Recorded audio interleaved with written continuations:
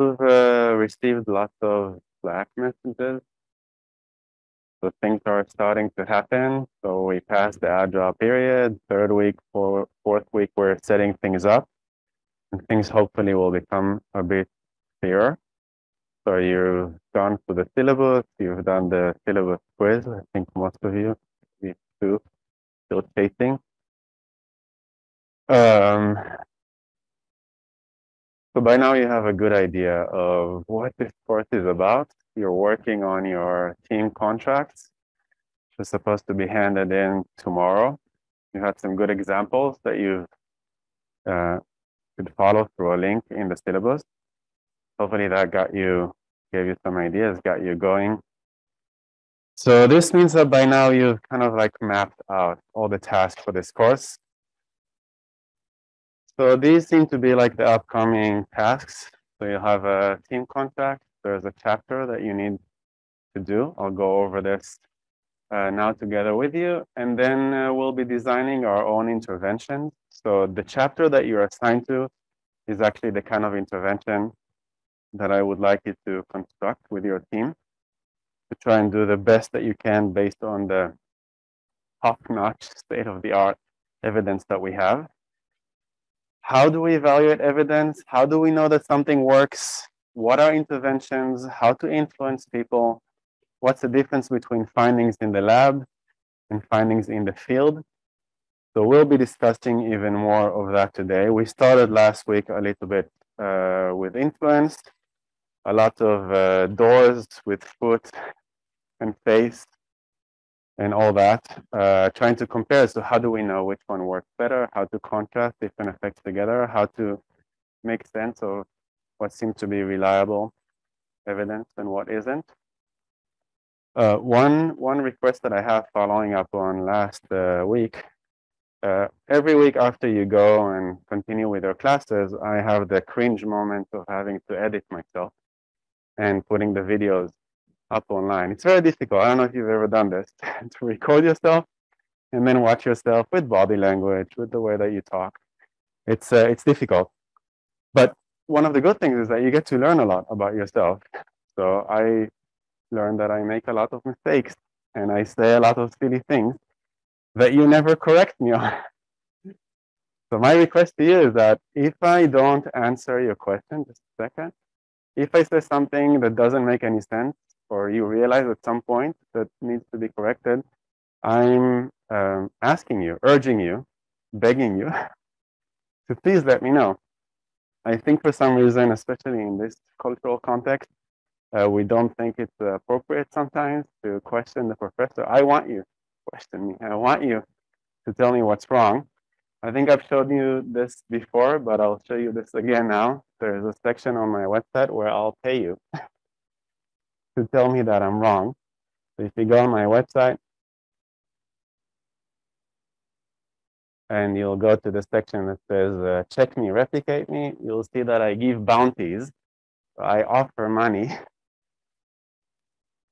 between five US dollars and 50 US dollars if you find a mistake that I've done in my papers or something small, a minor one, five US dollars, a big one in my papers, 50 US dollars. There's something about me that needs correcting, I am very, very happy to know that I'm wrong. I think it's very important in this process that we all understand that we're all human beings. We know that we have weaknesses. Therefore, I need your help. So if I confuse, uh, let's say, door in the face to foot in the door or something like that, it happens because my mind is like racing with a, a million other things. And please let me know. I am interested. No, I've, I've noticed quite, quite a few. Yeah uh, sometimes I like react, uh, yeah, wrongly to the, and then I take it away from the video, and then you know the public record is clean, and then I feel like I haven't corrected myself to you. But if I catch myself, I will, I will let you know.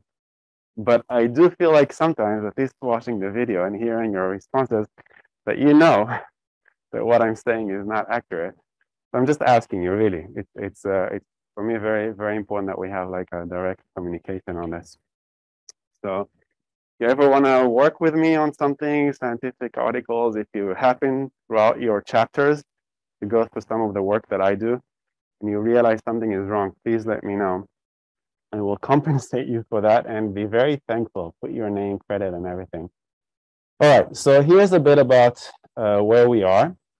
So starting from next week, actually, it's uh, we're not going to meet uh, for two weeks now, which is completely ridiculous in the middle of the semester not to meet for two weeks. Just as we're starting out, suddenly you disappear. So next week is a public holiday. The week after that is a reading week. Never heard of reading week before I came to HKU. Interesting. You get a break. I don't know what I'm supposed to do. Um, research, I guess. But then it is two weeks that we don't see uh, each other. However, I'm still asking you to do a weekly reading. So this is part of the uh, weekly readings. Uh, this is now 25% of your score. So I wanted to balance a little bit more the individual parts and the group parts so that you feel uh, hopefully a little bit more comfortable. And as you'll see in the in the syllabus, puts out everything quite clearly, but there's a lot of choice. So it's not like week five is this reading, week six is this reading. The purpose of the readings is to ignite your interest, is to get you interested in things related to the course. And because you have a lot of tasks, actually you can select the readings that are related to your task. Some of them are about influence, some of them about nudging, some of them about intervention, some of them climate change. So all sorts of all sorts of interesting things that might help you. So I would just want this to be a process of you learning how to learn rather than following what the professor is, is saying. So there's lots of uh, chapters that I chose from uh, different uh, books. If you like the style, then you're of course welcome to look at the entire book. So you have book chapters, you have podcast episodes, and then you have TED Talks and games or tasks that you're all I'm asking is that you every week you change, you try something different. So if you did a book in the first uh, or week five, then do a podcast week six, just like uh, change it uh, a bit. I'm not. Uh, it's up to you completely what it is that you want to do. Um, but for each one of those, as you'll see here, I'm asking you, please write your, you know, replace my name with your name, and then answer things like, what is the main thing that you learned, practical takeaway biggest positive, biggest caveat. How effective is this reading?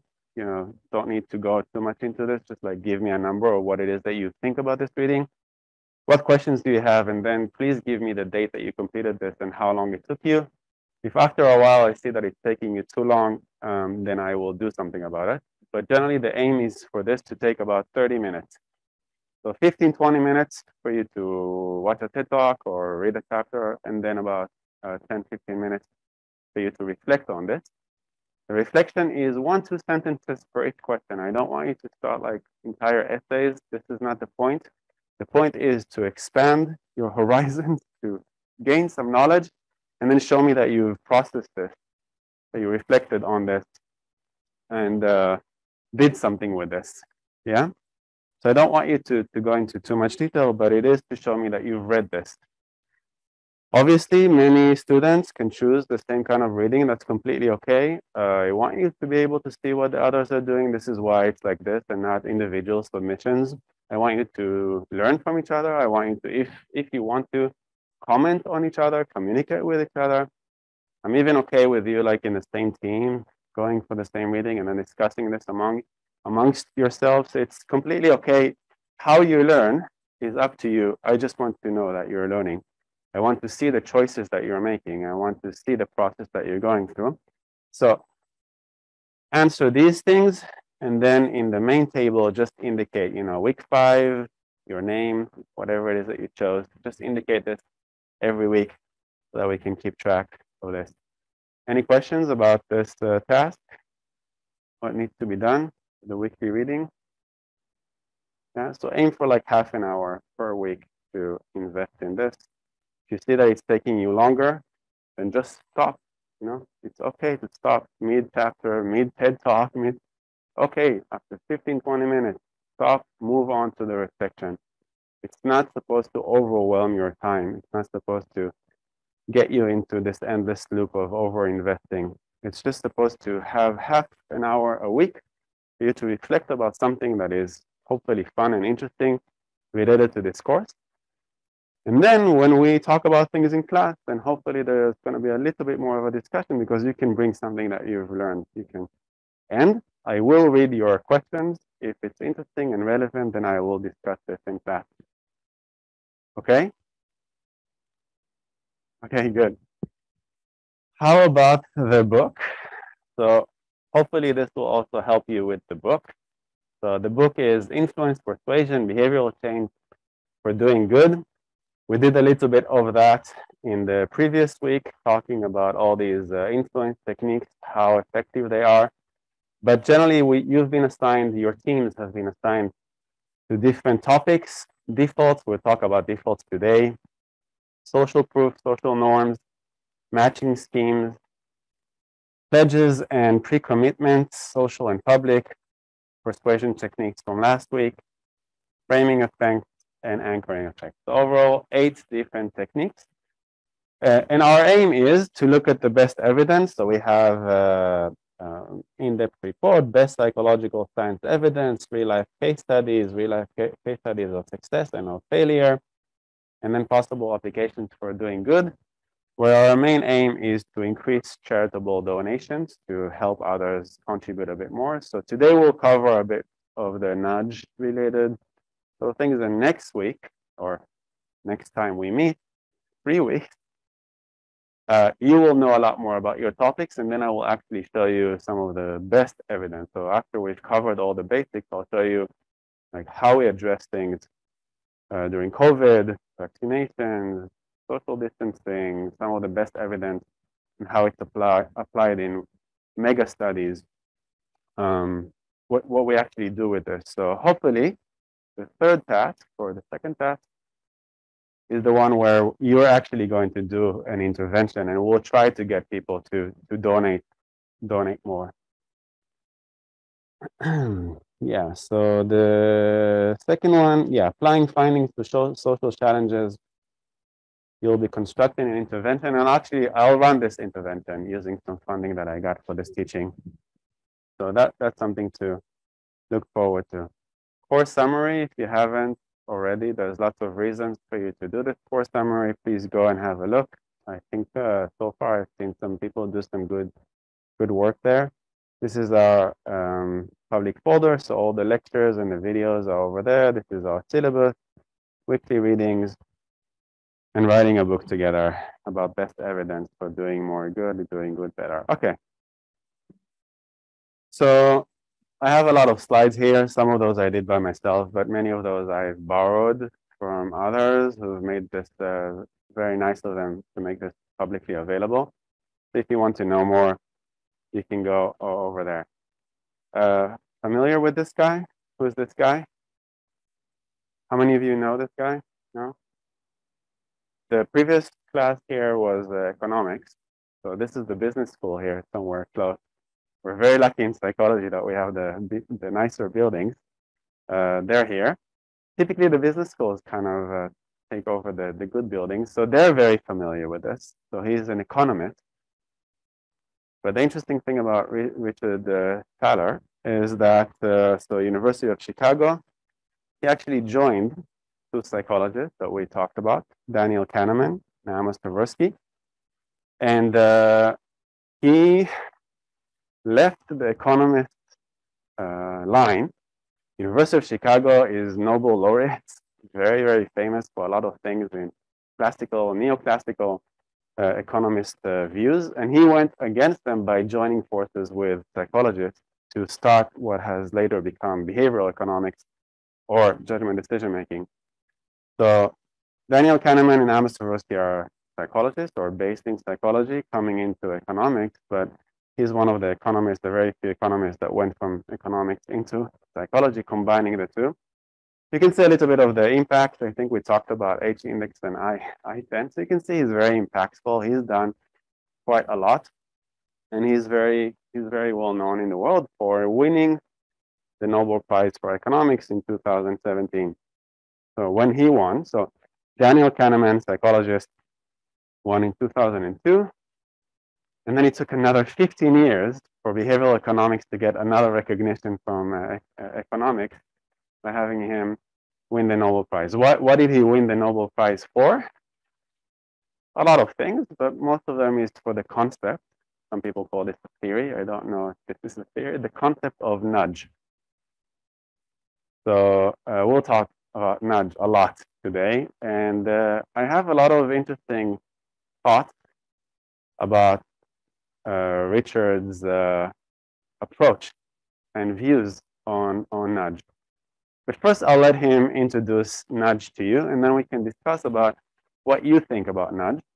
I want you to pay close attention to how he describes nudge, and I want you to especially put the scientist hat and try to think about this as a scientific evidence approach to how do we test this? How do we define this? And I want you to think about uh, possible weaknesses in the way that this is described. So every case study, every example that he gives or the definition that he gives, I want us to talk about some of the weaknesses and perhaps how we can improve on those weaknesses.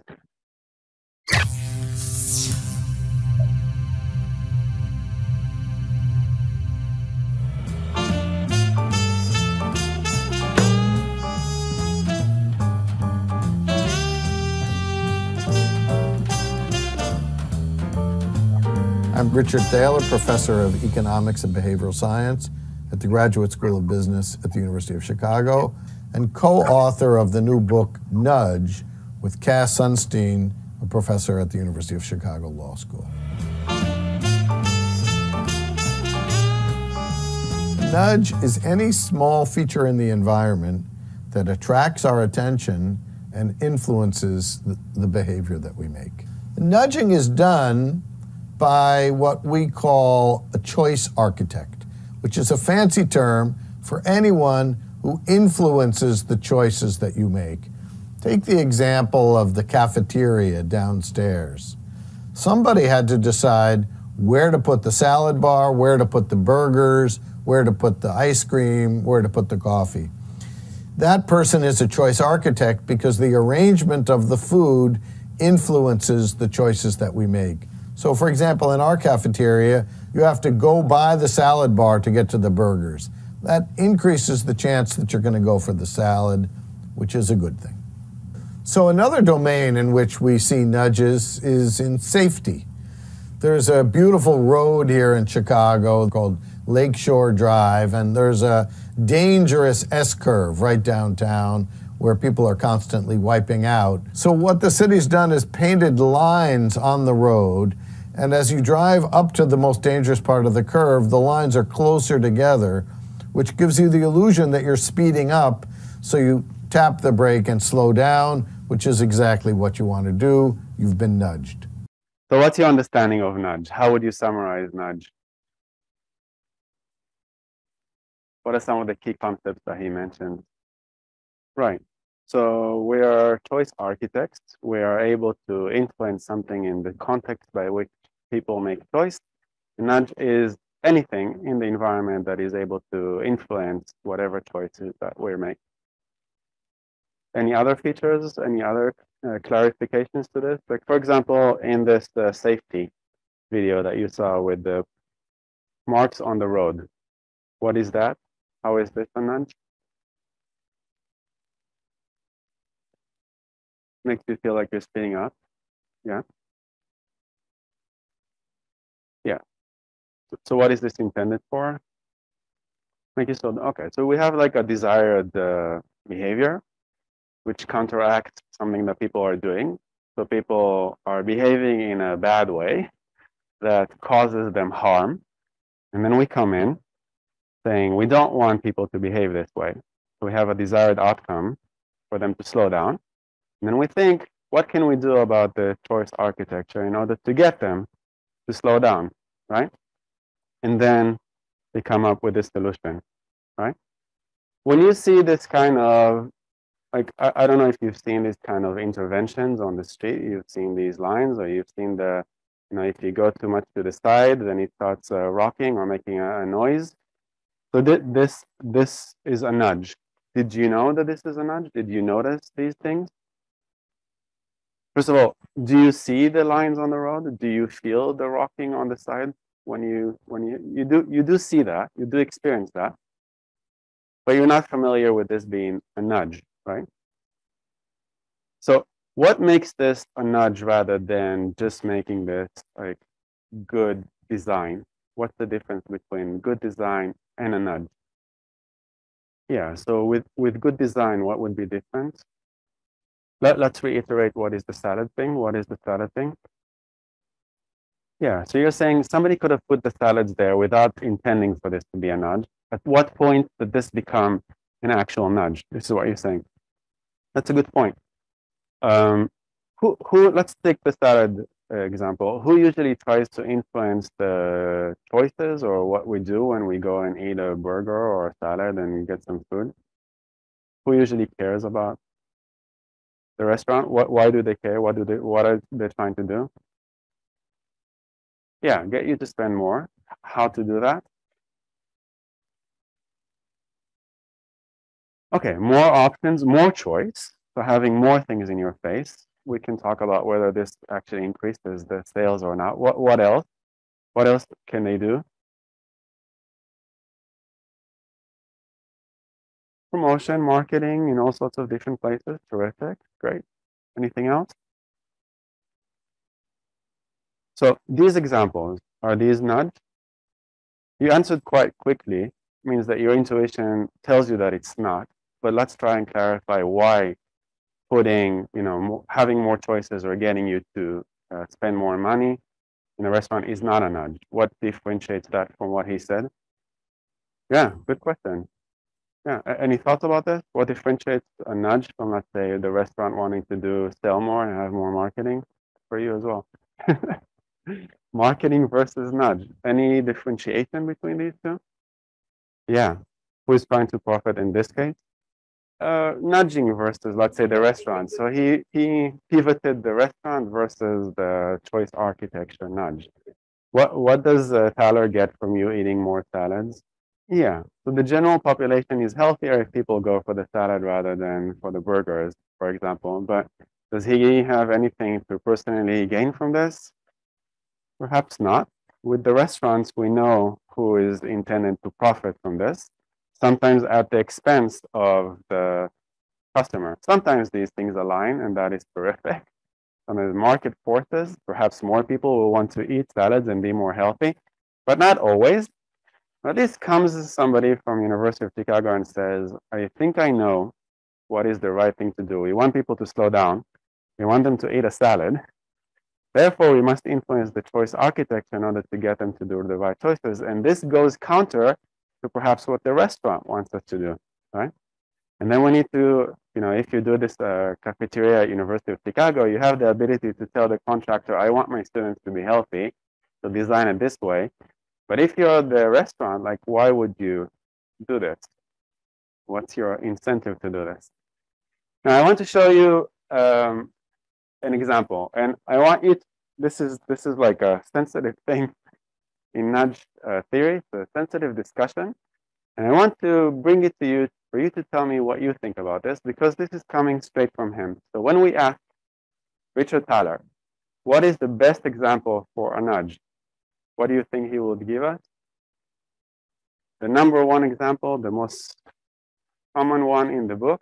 Have any ideas? Any guesses? Prediction? Small dinner plate, that would be a good guess. Yeah. Health related stuff. Any other guesses? Here we go.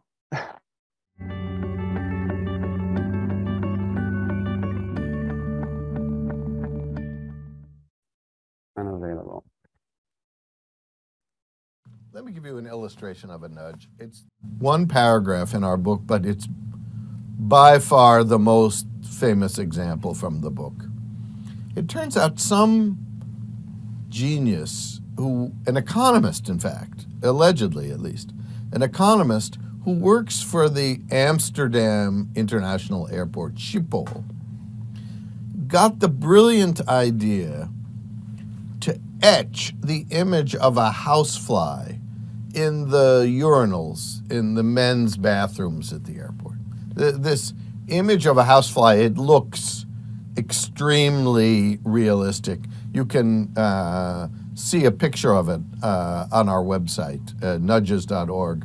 and um, it's located just near the drain. Now, it turns out that men, when they're taking care of their business, they're not fully attending to the task at hand.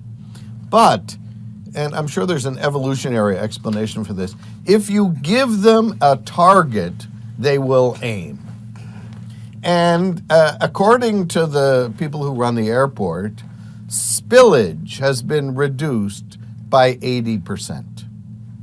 Now, that housefly has become my favorite illustration of a nudge. So this is his favorite illustration of a nudge. Any thoughts about this? I had a lot of questions when I first read this, when I heard him talk about this. Do you have any questions about this example? Only works a couple of times. Oh, very good question. I like this. This is very scientific. How do they measure the spillage? Terrific. Any other questions like that? I, I don't even know if like girls, females know this problem of spillage. Are you familiar with something like this? I think this is like men, men's issues, but a little bit cringy also to talk about spillage. Um, but there is, turns out, under the urinal, almost even in Hong Kong, where things are relatively more clean and cleaned very often, there is some stuff going on over there. Okay, so uh, how do we measure spillage? Can you imagine the person who was responsible for going? What, what do you want to know about spillage? Let's make this scientific. Amount, spread. What, what else do we want to know about spillage? Let's have more questions like this. What else do you want to know about the study? The staff? Somebody who's cleaning, yes? Yeah? How many people are involved in this? Who ran this? Allegedly a genius by Nobel Prize winning economist. Yeah. So which which toilets were used? Yeah, maybe it's a specific path or a chosen toilet. Yeah. Uh, random assignment was this randomly assigned? Yeah. Time scale, yeah. I want to know about time scale as well. Yeah. Uh, can you make this a bit more specific? What do you want to know about time scale? How long the experiment lasted? Yeah. You had you had a question? Oh, similar. You wanted to know the time scale. Good. So we have a lot of questions about this. What is the number one figure that we have? He had one figure that he wanted to share with us. What is the intervention strength? 80%. Striking effect, right? If we are able to reduce spillage. Um, what, what else is it about the actual intervention? So we know what the problem is. We know that we have, we want to know more about how this was uh, evaluated, right? How about the actual intervention? What is the intervention? What do you actually do to the urinal? With the evolutionary explanation. Yeah? You, give a target, yeah? What is the target in this case? A picture of a fly. I had some questions about this, don't you? Why a fly? why not like if this is a target just put a target why a fly would you want to let's say that this is a live fly why would you want to aim for that. Where to best place that? Did anybody manipulate? What is the best place to do this and measure the spillage? Close to the drain? But maybe some people aim to the right some people to the left. Do you want to know which side? Yeah yeah. what is the evolutionary explanation for this being a fly? Let's say that really a man is a target. We can talk endlessly about that. What would be a more simple, natural thing to use? What would you do in this case? Football and a goal. Yeah, something that tells you aim here. I don't know if a fly screams at you, aim here. Now, I honestly thought, okay, maybe in the book, you know, you have editors and editors want to sell. So maybe this is like kind of the thing. And maybe, I don't know who interviewed him, what was the, I thought maybe this is like a one time thing, a one off. Maybe just like they got him in, a, and this is like 2011 when the book came out. That was kind of like um, what do I want to, to know about this? 10 years later, from a few weeks ago, I was listening to one of my favorite podcasts that you can actually choose in your weekly readings called Choiceology. Katie Milkman will talk about her amazing studies in the next time that we meet. Here's a bit more from him. The most famous example of a nudge probably is that they etched the image of houseflies in the urinals in the Amsterdam airport and reported, no one has been able to replicate this, but they reported that. This is really important. You think this is a small statement? It is not. I'll tell you in a second why. No one has been able to replicate it. Let's continue. But still, 10 years after, this is the one thing that's mentioned. Spillage was reduced by 80%. So the lesson here is if you give a man a target, he will aim. A nudge is anything that attracts our attention and changes our behavior without changing monetary incentives or restricting choices. And do you have favorite examples of nudges besides the uh, Besides the urinal? Besides the urinal that have been what, big. what else? You know, the Behavioral Insights team and the uh, UK government and some of the work they've done. So this is really interesting because Katie is one of the people who does amazing mega studies uh, showing all kinds of things about nudge. And even Katie asks him the very obvious question is like, of all the things, you know, this is what it is. And they're joking about this. This is very important when we communicate to the public. What is it that we communicate?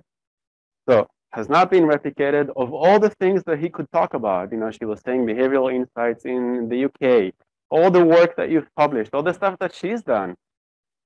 This is the one thing that you that you raise. And this is 10 years after many, many times. There's another example. I won't go into this in too much detail, but I do want to open this up in case you want to listen to that podcast.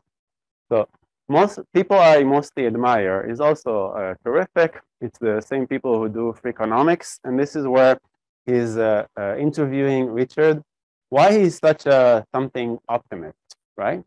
And then you can actually go here, the share the and doesn't change economic incentive. And you'll hear him once again doing exactly the same thing, where they ask him, "Can you please give us?" And and this is they're they're like very close to one another. So even when he hears from somebody like Katie Milkman, please give us something else, this is his favorite story. Most recently, the book has been revised and got out an a, a revised edition and still very prominently discusses that over there. Now, to me, uh, I this bugged me for a very long time because I give courses about nudge, so I decided to publicly ask Cass Sunstein and Richard Thaler uh, whether there is some, um, I want to read the study. I really want to know how they measure the spillage. I want to know why this is a fly. I want to get in touch with the person who actually did this. And of course, I'm a nobody, so there's no reason why a, a Nobel laureate uh, will contact me. But I just wanted to know, has this ever been empirically tested or replicated in some, some scholarly work? So this, this is 2018, and I'm very happy Richard Thaler actually says now that this work has not been replicated. And he's a science writer. Um, and he says, you know, I've searched for this in the past without success. And then there suggests there might be some ethical issues with the study. It seems like uh, something minor, but not for the number one thing that is behind a nudge. And I said, yeah, I don't understand why this is the centerpiece. And to my great surprise, even though he interviews with Katie Milkman and people I mostly admire, to my great surprise, I found a video of him giving a talk at the University of Chicago. And then just look at, I really like that because in the slide, it already says something that I uh, was expecting to know when I read the book, but has never been shared before. Unverified effectiveness, 80% less uh, spillage. Now, I just want you to hear how he describes this. I feel it's important. Strongly recommend these talks. They're amazing. This is a urinal from the Amsterdam International Airport, and uh, some genius etched the image of a housefly. And they report, we've been unable to get the data, so this may not replicate, but they, uh, rep- they claim spillage has been reduced by 80%. If any of you are So we haven't been able to get the data for this. So I'm not sure this will replicate. But if you ask me about nudge, this is the one thing that I will show you and added unverified effectiveness. Adding on top of that, since we said that maybe fly is not the obvious thing to say, are the parents of young boys, I hear Cheerios can serve the same purpose. if you have young kids, then instead of a fly, you can just use Cheerios. Now, why am I taking the time to go through four different instances where Richard Thaler, the Nobel laureate, says this about nudge? What are your reactions to this? Here. Yes, please. Yes. So we don't have any data behind this 80%. Like you said, by now, we already know that this comes out of nowhere. We don't even know who the people are. We have no information about the data. He uh, actually says, I don't know if this will replicate or not. I don't know what is going on with the study, but still uses this four times. So let's take this a step for, further. What am, what am I trying to say? What's your take from this? You wanted to say something? Kind of interesting. Promotes his own study. Yeah. So we started out from him taking care of like salad, wanting us to be healthy. We're taking the scientific approach of we want to make people's life healthier, we want to improve those, but then what we end up with are flies, right? And then to me, it kind of taints what it is that we're trying to do as scientists. We're trying to improve something, we're trying to offer an intervention, we're trying to do some, some good, uh, and we want this to be backed by real evidence. We want to know that things actually work. And, and this creates, creates a problem. We'll actually come back to more instances of problems like that. But I feel it's very important that when you go and read information for your chapters, some people say it's been published in a book by the Nobel Prize laureate. Therefore, it must be true. I want you to ask questions about this, especially when it seems like a funky thing that might be a little bit more interesting. I want you to ask simple questions about what is going on in this kind of experiment. If you hear something from me that doesn't make sense to you, I want you to ask me, show me the evidence. I want to see. How did you do this? What are the numbers? Who ran this? What time? I want you to be able to see every aspect of the study in order for you to know that you can trust it. For me, if it's unverified effectiveness, you putting this on a slide hurts the entire project of Nudge, hurts the book, hurts all the people who good, do good work in this. If this is how you summarize things, and he's on the cover of, of this, this uh, of this movement, this Nudge project. So to people who really care about nudge, to people who really care about evidence, this creates a big problem. And I think he's aware of this because he's slowly adopting the language of unverified, doesn't replicate. He is reacting to what is happening, but not to the extent that I would like this to go. So I want you every time you see a study to go and actually look at the details in order to verify that this makes sense. So sometimes if you put stuff in the chapter saying, okay, this is just in the nudge book. And I'll ask you, did you go and have a look? Did you see the details? Do you know that this works? Did you go read the article? So how to make make the differentiation between junk, and there's a lot of junk, even in academia, even by Nobel Prize winning books and scholars. And we need to be able to separate the junk from real evidence. So one of the things that we've been doing for years at HKU is revisiting many of these nudges in order to make sure that they're actually solid. See that there is real evidence, see that they reproduce, see that they replicate. in order to make sure. So many times when I see this kind of thing, I want to know more about what's behind this. So this is my main uh, message to you. Uh, we also have uh, um, Google Doc manuscript book that uh, we're trying to uh, work on in order to help you establish what is solid evidence. So even when it comes from a Nobel Prize winning scholar, even if it's in a very famous book, even if it's just revised a few months ago and came out, this does not mean that this is solid evidence. So check your evidence, check that there's a pre-registration, hopefully a registered report, we'll talk about what that is. Make sure that there's open science, that you know where the data is, that you know who's behind this, so there's some uh, verification, and please avoid hype and unsupported uh, stories. Um, so I have many questions about this. This is an example of a good design. No, it is not a good design. Why? And these are some of the questions that I had about this. What makes this a good design? Why is this a fly? Did you taste different placements? Did you test different targets? What did you do?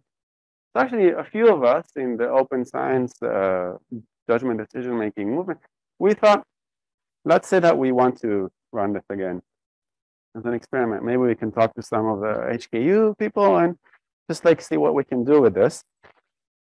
Um, but we have so many questions, we didn't even know where to where to start with this.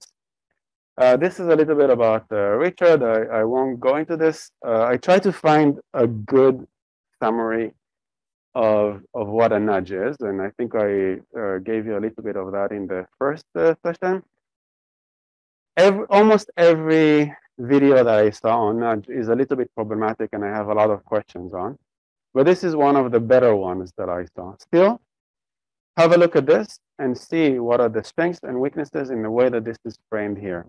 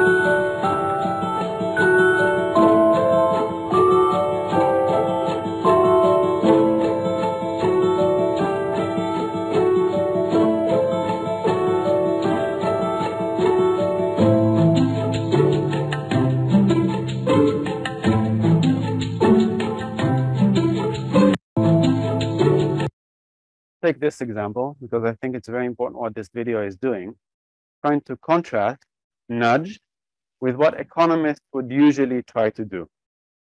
So what are the first two? Financially reward them by paying them into a supplementary pen pension program.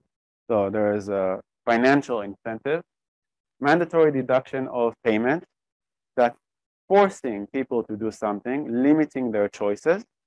So this is economist, this is like policy, and we don't do that with nudge. Nudge is something about the choice architecture by simplifying it. So whenever you see a nudge, think about the contrast to what economists would do in this kind of situation and see which one is the most effective of those. Let's consider these three. Which one do you think is the most effective of these three? Let's say that we want people to save for retirement. What is the best way for us to do this? Which one would have the most uh, impact? Yeah, so your, your guess is on this one? Yeah. So why would this be the most uh, effective? Yeah, so at least at the very least, all of them will have to save. Yeah, what, why don't we do this? Why, why don't we just go for this? What's the problem with this one? If this is the most effective, why not implement it? Reactance? Yeah. So what, what could happen in this case? I, I, for example, at HKU have no choice. Also when I was in the Netherlands, also when I was in the US, automatically deducted from my salary going to um, pension fund. This is especially to me problematic because let's say when I moved from the Netherlands to Hong Kong, I can't take it out. I'm moving between countries. I don't know if I'll ever come to the Netherlands. 65, 67, I need to wait until I can come back to the Netherlands and claim that. This is just an example for how these are being done. Yeah. Sorry, you wanted. Sorry, a what? Yeah. So so let, us talk about. You, you mentioned a lot of very good things. Let's let's start from the reactance. What kind of reactance can happen to this? It's mandatory. I have to do this. What what's the possible reactant to this? Go on strike. Okay, one, one good thing. This is like if you change from now to tomorrow. Now you're saying everybody's mandatory. You can go on a strike. Good. What what else can you do?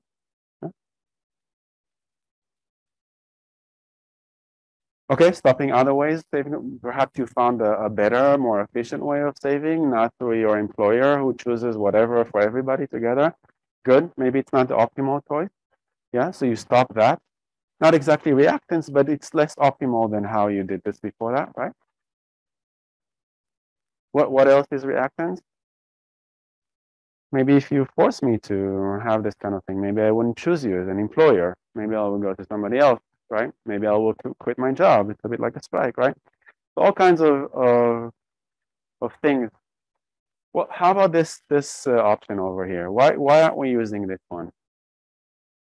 One other thing that HKU is doing, it's doing a matching scheme. So whatever it is that they're taking from me for pension, it's matched by the employer. So 100%. Let's say they're taking, uh, uh, I can't remember, 2,000 Hong Kong dollars. They match this, so they double this. So it's 4,000 into the pension. So if I put 2,000, it becomes 4,000. I don't know why they would wouldn't just give me 4,000 and then just take it out instead of telling me that they're doubling, but they're telling me that they're matching this. This is a matching scheme. So it's a little bit like a financial reward supplementary. Why not use the first one? In the, in the second one, we had reactance. What about this one? Yes, please. Higher cost financially, yeah. So the, there's definite downside to that. We need to prepare for it, yeah. Good. Cost for the employer. Yeah, not everybody reacts in the same way. Good. Yeah. So even when we consider nudge, and this is very common with behavioral economists and some of the psychologists, sometimes we need to consider all of these options together. So whatever it is that you're trying to do, let's say you're trying to increase donations, let's say that you're trying to address climate change, whatever it is that you're trying to do, you need to think which one is going to be the most effective, what are the strengths and what are the weaknesses for those, and then contrast them to each other. If you would have to guess, let's say you said this is the most effective of them, the nudge compared to the others, is it about the same, double, half? What's your guess about nudge compared to the other two options in terms of influencing people's behavior? What kind of effects can we, let's say that before implementing any of those, 20% save for retirement, not, not talk about account, um, amount, 20%. From 20%, we implemented this, or we implemented this, or we implemented this. What can we expect in terms of increasing from 20% to something higher? Have any predictions? If we do the mandatory reduction of payment from 22, let's say that it's 60, compared to the 60, from 20 to 60, let's take this as a reference number. What would be nudge About 40, about half? Good. So I want you to think about these things because we'll come to, to the evidence afterward. And I think you'll be very surprised with the effect of each one of those and how nudge compares to, to, to those. Uh, David Halpern is uh, used to be uh, under Cameron in the UK, uh, the head of the behavioral insights teams. So the good thing about Cameron and Obama is that one of the first things that they did is that when they came in, they initiated and behavioral insights teams to try uh, nudging. I won't show you the, the video, but I recommend for you to go and listen to him. He does uh, really interesting stuff. We'll cover some of that in the next session where they run on the entire UK. They try all kinds of different interventions in order to see what works or not. So instead of a few politicians sitting together in a room and saying, huh, I think this is what people will do, they just do A-B testing in order to see, you know, if we randomize people or provinces or cities into different kind of intervention, what is going to be the impact for that? Okay, uh, another interesting example for a nudge. I want I want your take on this. Australia, take note, exercise equals a free ride in this city. As you can see, they've installed these machines over here where there's a camera. And if you do 16 or whatever, 20 squats in two minutes, you get a bus ride for free. This is what it looks like.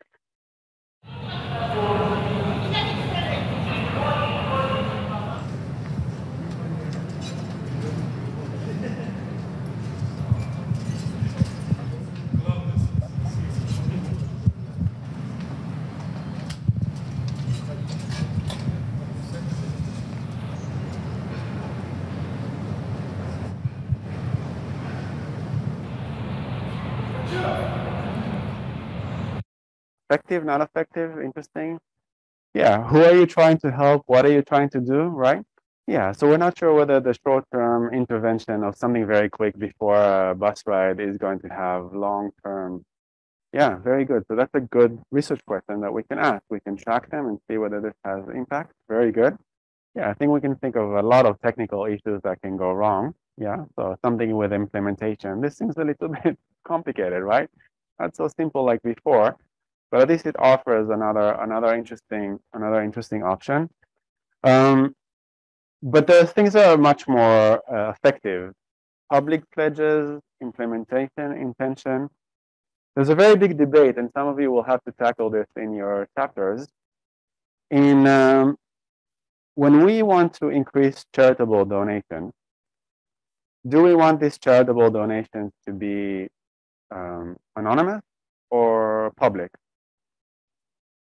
Are different arguments. For example, if you go on, I don't know, what do you use? Instagram, TikTok, Facebook, whatever people use nowadays, and you see an influencer who said, I just donated 10% of all lifetime salary to effective altruism.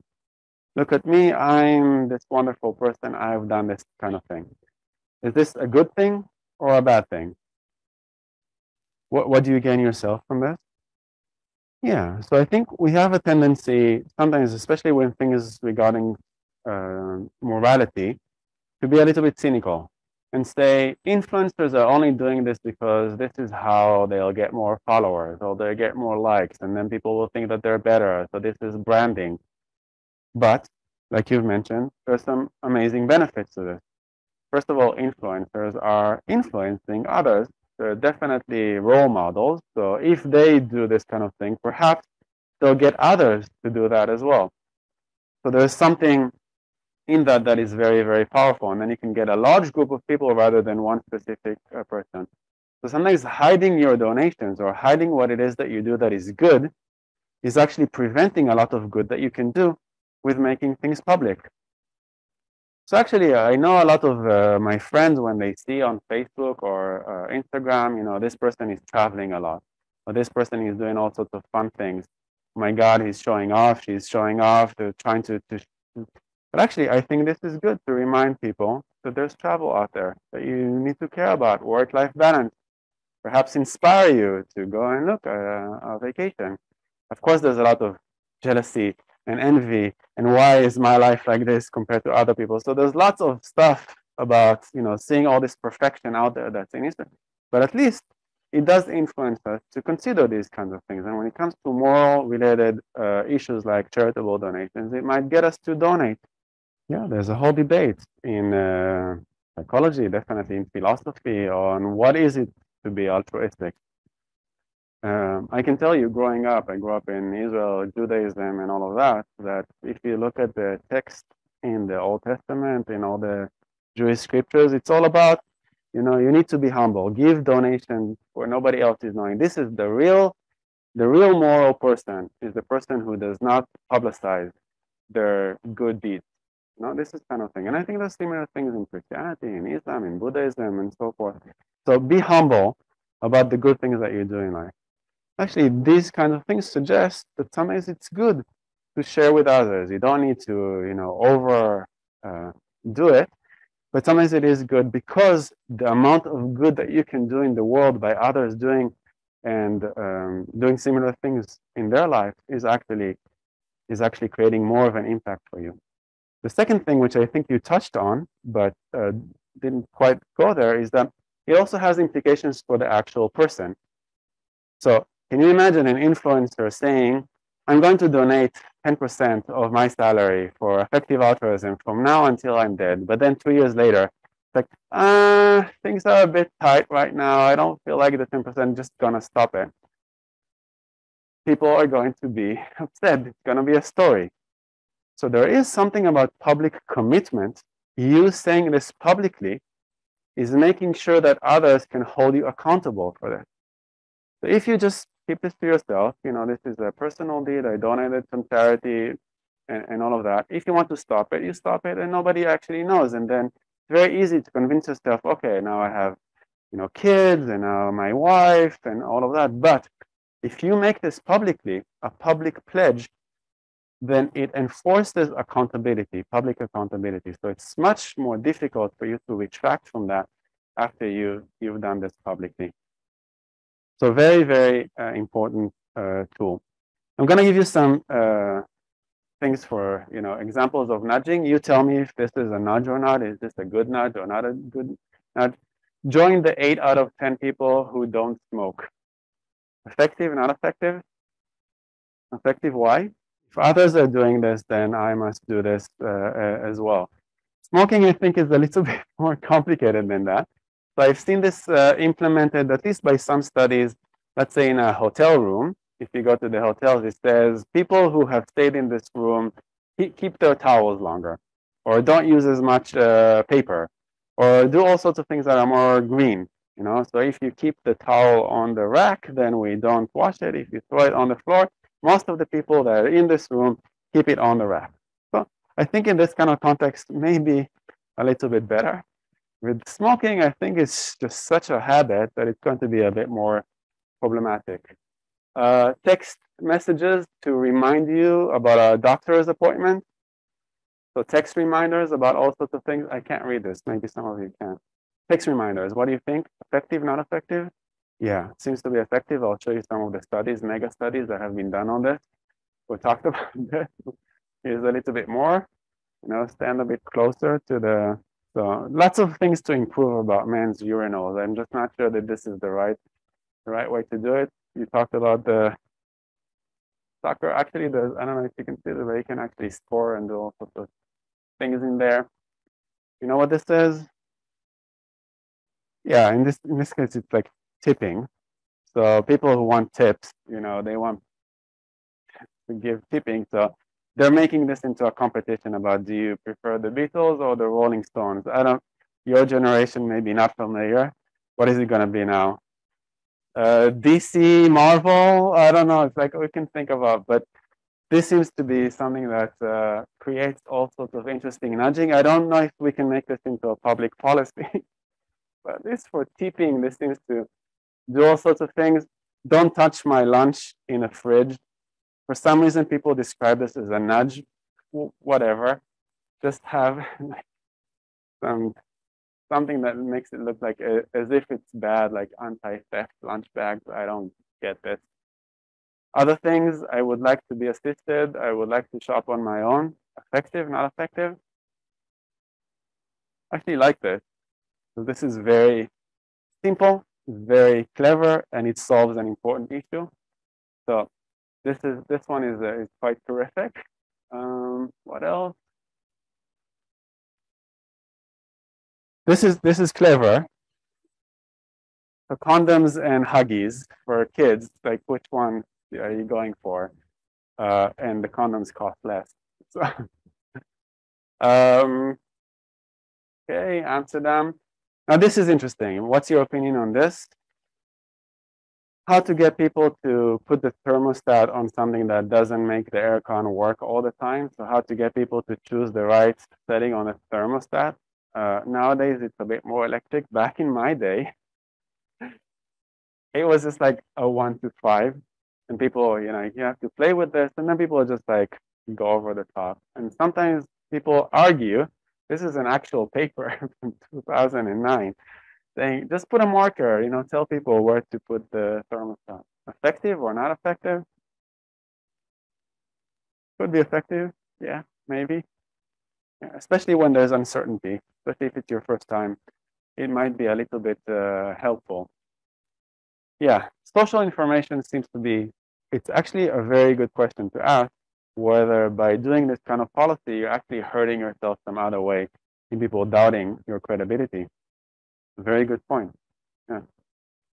So in your chapters, when you talk about these kinds of things, I want you to reflect on these on these topics. I want you to think about these, the weaknesses and the strength of each one of these things and the possible issues, technical issues to behavioral issues to all sorts of implementation um, dilemmas that we might have with these. This is an interesting one. Uh, so when I talked about behavioral insights teams uh, in the UK and uh, a little bit later during the very uh, during the Obama administration, we have some uh, insights coming about uh, you know compliance. So even something like telling others for paying taxes, you know, um, nine out of 10, so you're asking 10, uh, out of 10, becoming nine out of 10. So they've done this with taxes, telling them, and it could be a lie, nine out of 10 people in your country postcode town uh, pay their taxes on time, pay your taxes on time. And the control condition, which is very important, we need a neutral condition with no manipulation like this, 67% did this. When you gave them the country, 72.5%, and then increasing to 79 and then 83. If you think about this in a country level, especially a country like the UK and the US, these are gigantic numbers. This is such a big impact. This is to me almost too good to be true. If this would be an academic study, I'm like, I don't know what's going on here. Like, I need to see this again. So these are behavioral insights teams that work for the government and work on a country level. So if we have nudges that work this well, then I feel like we should do this a lot more, at least try this out as much as possible. We do need to consider what it means and where the statistics actually come from. But at least here, the manipulation was, regardless of the actual numbers, we're going to tell people what they do, how they react afterwards. We still need to study that sort of thing. But this is a really interesting now, in 2000 and, uh, 2020 and 2021, we set out in my courses. So in 2020, we set out to, now we're actually doing these two. Actually, we're doing all three. Yeah, we're actually running these three as replication. Um, so we're looking at, yeah, attribute framing. So for example, uh, whether you frame something as a tax or as an offset. So if you want people to choose the um, carbon offset in flights. They can pay a little bit more in order to offset your carbon in, um, footprint. If you frame this as a carbon offset versus you frame this as a carbon tax. So a very simple manipulation of one word. To me, this almost seemed like too good to be true. So we're actually running a replication on this. So what we do is that we prepare a pre-registration plan. We send this to the journal. Actually, we had uh, Hardisty comment as one of the reviewers to tell us whether our design is good or not. And we're gonna collect data in about a month and then finish and see whether this actually holds or not. The other two we're also running, also in revise and resubmit. So this is 2020. As you can see, a lot of things take a lot of time, especially because COVID related stuff. Um, I'll talk a little bit about the default effects that we ran already, but we wanted to run a bit more default, green default, um, and then uh, gains from losses, so framing effect. We wanted to see these two, and I'll show you why. Allegedly, one of the strongest effects in nudging, which I really wanted to confirm together with HK students, is defaults. Strongly recommend this book. I listened to it as a podcast, The Elements of Choice. Uh, some of it is assigned uh, reading. You can choose this if you want to, if this is interesting for you. Um, the person who ran a lot of default related studies, so Eric Johnson, uh, very prominent uh, figure, published a lot, did a lot, and generally very impactful in our field.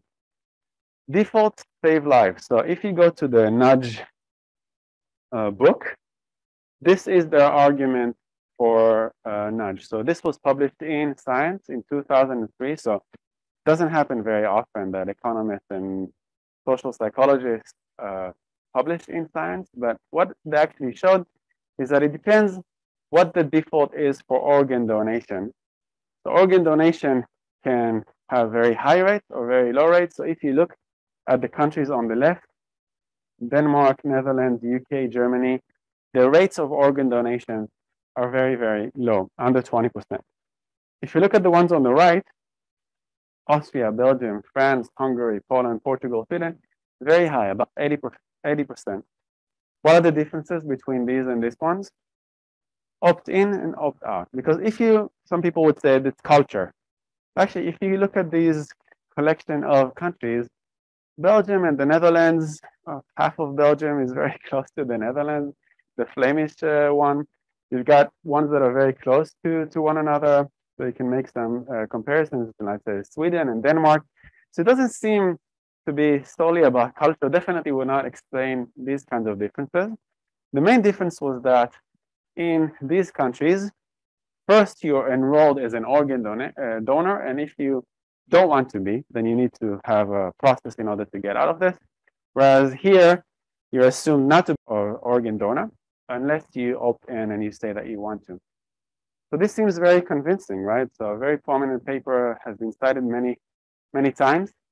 Going back to Thaler, I was just like my mind blown from this lecture for so many other things, not just because he was saying that uh, it's unverified evidence, but I wanted him to reflect on this figure that he put in Nudge and has been revised in a recent uh, book edition, but hasn't communicated this. So basically, what he says was presumed consent reduces organ transplant, which is exactly the opposite from this graph. What he shows over here is the opt-in is higher than opt-out is lower. I'll let you, him say this to you in person in the video. Now, most of you are young. Imagine what inference your parents would take from your failure to fill in some form? Probably none. And that would probably be accurate, right? Our failures of omission are not very telling about our underlying preferences. Well, does presumed consent save lives? No consent. So the bar on the graph is organs transplanted per 100,000 deaths. Uh, in opt-in countries, the one on the right is opt-out countries. The higher is better. This is the real graph. It's not famous. This is the real graph, but it's not famous, which is exactly the opposite graph from what it is that we've been communicated in Nudge. Turns out that having the consent, in this case, it's not the consent, it's the lack of, does not mean that you can be used as an organ donor. Actually, when you pass away, they come to your family and say, he has consented, she has consented to donating their organ. Therefore, we're going to do this.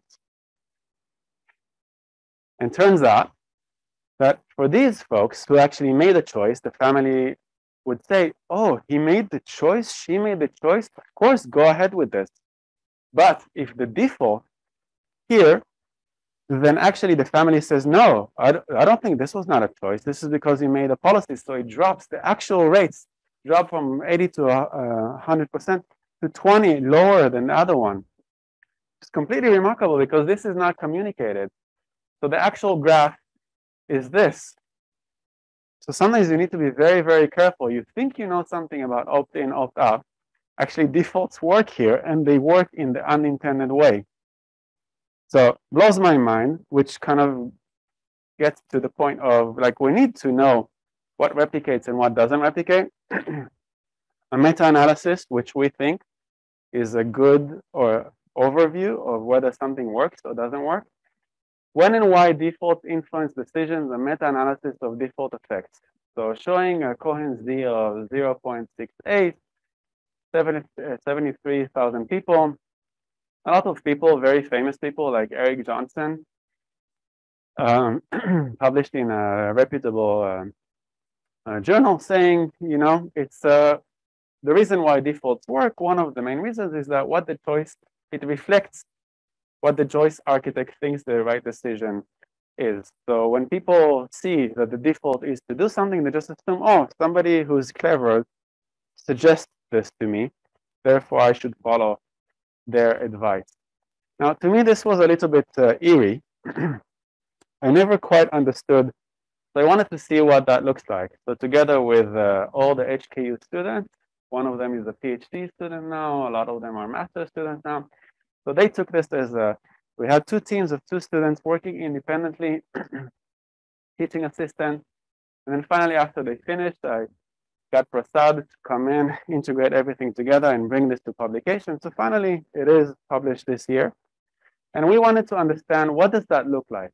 So what does opt-in, opt-out look like? And this is what it looks like. So we actually took this from the science paper in 2003, two studies by Johnson, Johnson and colleagues, 2003, 2002. This is the first one. You have an opt-out, so automatically the yes. See how slight this is? Automatically it's no. And in the control condition, no default, nothing is chosen. So we wanted to know if this works or not. in the other study in 2002, they made this more complicated. This is what they gave. uh, notify me about more health sur uh, surveys or send me more information about organ donation. Now, not only did they manipulate opt-in and opt-out, but they also added positive frame and negative frame. What does that look like? Positive frame is what we is natural to us. Send me more information about organ donation. Yes, no or no option. Now this is where it becomes complicated. What is the negative frame? Do not send me more information about organ donation. Yes, no. When I see this kind of question, I don't really know what that means. So if I select yes or I select no, does this counter the do not? Unclear. So I really wanted to like do a replication of this to see uh, what happened in the first one, we actually got not exactly the same uh, findings, but very similar findings. So this is our uh, neutral compared to this neutral. This is opt-in.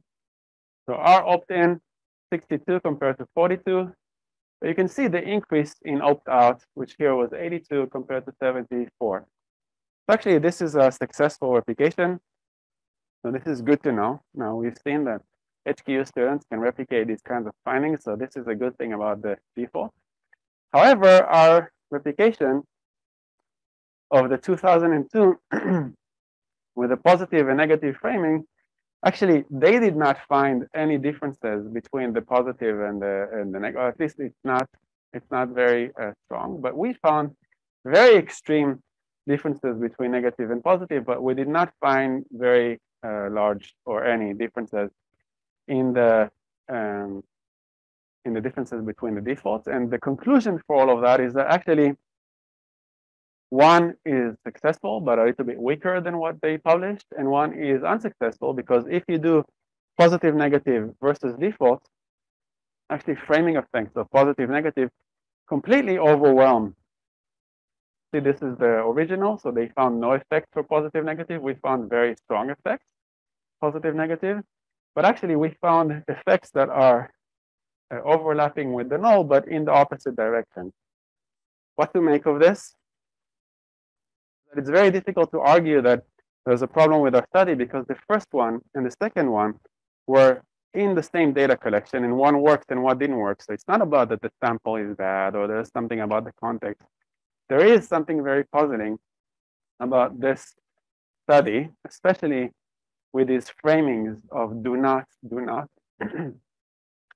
so even when you see a study and you think, yeah, being communicated, published, best journals in a book, uh, and we should implement policy, sometimes you want to contrast two different effects, negative, positive versus default, and see which one of them works. And not everything is to be taken for granted. I don't know what is causing this. We'll look into this. But it's a contribution of HKU students to the issue of, of defaults. When you go and you look for information about what works and what doesn't work, uh, I suggest that you look at the meta-analyses of all kinds of interventions.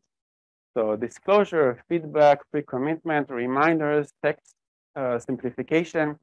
And as you'll see, if we compare all of these, it seems like the evidence for defaults is a little bit higher than the rest.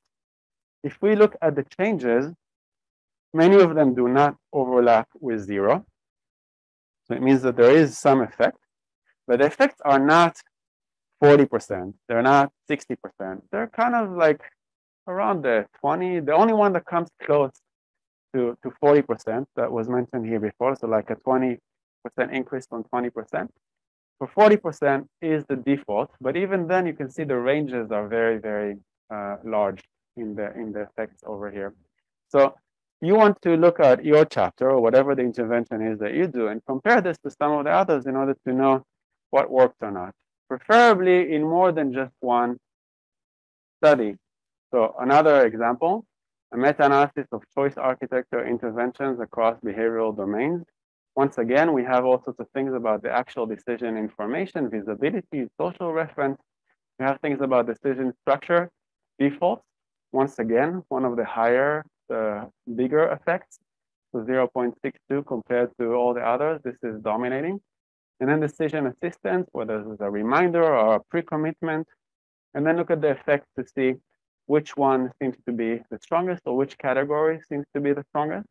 And then based on that, try and aim for a certain category. Or let's say that you are in a category and try to see inside the category which one seems to be the most effective. So for example, if you're over here, maybe aim for the default, but not for the consequence. If it's here, perhaps social reference. So try and evaluate what is the impact, what is the effectiveness, how do we know, and use meta-analysis with as much information as possible about the effect. Uh, possibly two different meta-analyses that would confirm uh, the same kind of findings. So what converges around these two is definitely the default seems to be one of the strongest uh, effects. Now, this was published in PNAS. if you thought that, okay, there's a meta-analysis and now everything is clear and now we know how to do our chapter, so not only am I going to, you know, reverse urinals and default effects by having the uh, Nobel Prize winning uh, scholar to tell you that there's the problem, but a lot of criticisms came out of these uh, two meta-analyses this is one of them. Actually know many of them. Max actually works with us and with our HKU students, and he does a meta-analysis. And what they've done, they've uh, implemented something called the uh, ROBMA, which is a new Bayesian analysis of a meta-analysis. And what they found is no evidence for nudging after adjusting for publication bias. So basically what they're saying is that only the studies that worked were published but there's lots of studies that don't work, and we can actually detect it using a Bayesian analysis. So they reran the meta-analysis using exactly the same data, and this is what they found in the different domains, different, it's very, very close to zero. So even after you see a meta-analysis like this, and you're saying, okay, problem solved, this is PNAS, top journal from 2022, so just published recently. Therefore, we must implement defaults because this is the best. Terrific. Are there any criticisms on that? Yes, so include the criticism. Is there more than one criticism? Yes, there's more than one criticism. I actually also know this group. So a lot of people in this group, one of them is a very famous statistician that blogs about open science and they need to uh, compensate for all of this uh, publication bias. So after adjusting for hypoth uh, hypothesis severe to moderate degree of publication bias, adjusted estimate average effect size of nudges is between very, very weak to moderate. So it's not like everything disappears, but we need to be a bit more humble about things. And we need to take into account publication bias. So in this course, usually in judgment decision making, behavioral economics, you will hear a professor come and tell you, do this, do that, read this book, read, follow everything that those things say. I want to tell you that we pursue scientific truth. We need to be very humble. We need to be able to evaluate evidence.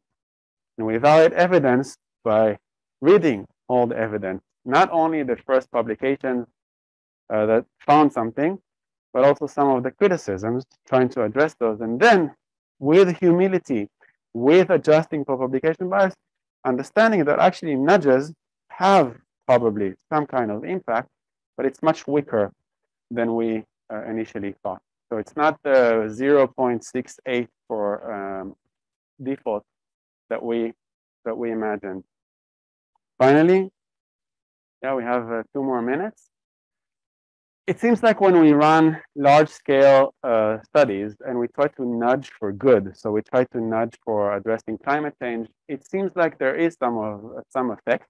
But the reason why some of these effects uh, come and go is because there is some moderating factors. So it could be that green default of uh, what was it, uh, motivating for environmental behaviors uh, happen under a certain price range. So here they're using defaults in order to get people to what was it? I think uh, offsetting. Yeah. Um, so it seems like it's working, but it's only working for tickets up to a certain amount of money. So it's really interesting to see some of these. It's good to not only go for meta-analysis, but also look at the latest evidence that comes from big, you know, 11,000, big sample, 11,000 participants in this study, and then see whether there's some moderation so I really like this because this is in the field on real participants, a very large sample, and it shows us some kind of pattern that helps understand a little bit better what happened in the in the meta-analysis. Green defaults, another one that's very uh, big. So can we reduce meat consumption? Honestly, I'm skeptical. Um, I've tried for a very long time throughout my life to do this. Finally, this COVID helped me, so two years vegetarian, but still struggling with this kind of thing. I know how difficult it is to reduce meat, meat consumption, especially in a place like Hong Kong, with the ducks hanging by their necks in every street corner. But it's interesting that they've actually been able to succeed to some extent, uh, maybe not in complete meat consumption, but there's a bit more reduction in portion size with one of the studies going as far as almost 90%. So even something as simple as default, having the default of how much meat you would consume. So I think you said plate, large plate, small plates. This is the stuff that I would talk about more than, let's say, urinals in the toilet. So it's really interesting uh, when you look at the evidence for your chapter to try and find some of these direct interventions with large samples, looking at things that uh, try to create uh, some good. I'm not going to do this. Uh, there's a video over here uh, two minutes or more, Richard Thaler saying that actually, when we have urgent challenges like climate change, he says, we can do nudge, but it will do this much. We really want to address this. We need to go mandatory and we need to put some penalties and incentives into it. So even a behavioral economist says nudging is okay. We can try and play with this 5% here, 10% there. But when it comes to addressing climate change, doing all sorts of things with uh, green meat consumption, animal welfare, all these other things in order to reduce carbon emissions and get our planet back to um, on track, then we really need to go back to the hardcore economic view of using two of the other options, not just nudge, but complementing this with mandatory and incentive. So this is a very brief critical summary of nudge. Some good things about nudge, but there's lots of things that we need to tackle. Can we do better with nudge? We talked a lot about the weaknesses here. We can do better, and we'll show you how to do better. Katie Milkman is one of the people who are doing better. So I was hoping that this would be next week, but because we have a, a public holiday, it will be in three weeks.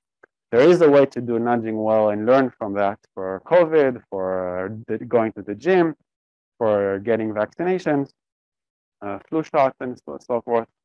Uh, but I did want you to get the critical view first before we see how best practices are implemented in our field, including some of the things that we participated in in the last two years.